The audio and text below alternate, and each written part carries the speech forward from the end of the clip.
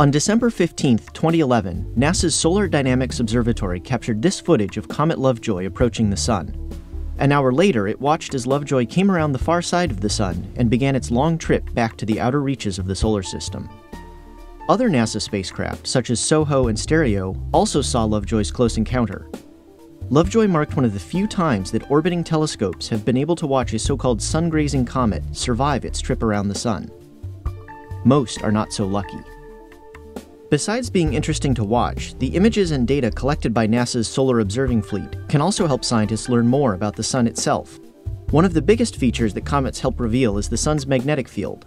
Since magnetic fields are invisible, we can only observe them indirectly, like using iron filings over a bar magnet. On the Sun, astronomers can look at where hot plasma in the Sun's atmosphere is trapped by fields to see their complicated loop structure. But farther away from the Sun, where the plasma is less dense, this approach doesn't work. Comet tails, with their ionized gases, are affected by magnetic fields, and so they can act as brief tracers. On April 20, 2007, Comet Encke had its tail stripped off abruptly by a coronal mass ejection that carried a strong parcel of magnetic field through the solar system. Even closer to the Sun, astronomers were astounded to see Comet Lovejoy's tail glowing in extreme ultraviolet light as it approached the Sun. They now think the glow is caused by energetic electrons in the Sun's corona interacting with oxygen from the comet.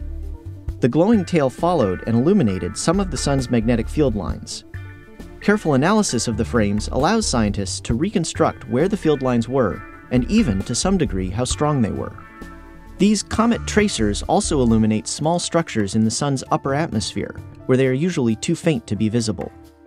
Continued observation of sun-grazing comets will also help astronomers understand how hot material in the Sun's corona cools and where that energy goes. Finally, long-term observations of sun-grazing comets will help us learn more about the solar wind. Some of the particles in the corona are traveling fast enough to escape and travel through the solar system. They begin moving at roughly 250,000 miles an hour, but start accelerating when they reach around a million miles from the Sun's surface. By 5 million miles out, they are traveling at up to 1 million miles per hour.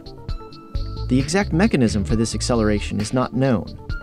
Comet tails that are blown off by the sun travel with the solar wind and can act like a dye tracer in a river. Because they are made of different materials than the usual solar wind, they are distinct and easy to pick out, so they can show exactly how the acceleration unfolds. Because we are in a period of high sun-grazing comet activity, scientists can expect many more chances to watch these natural research satellites in the coming years. In fact, another large comet is expected to have a close solar pass on November 28, 2013. This comet is roughly the size of Hale-Bopp, so it should give quite a show. It will also undoubtedly be a treasure trove of information for scientists, and who knows what new solar secret it might unlock.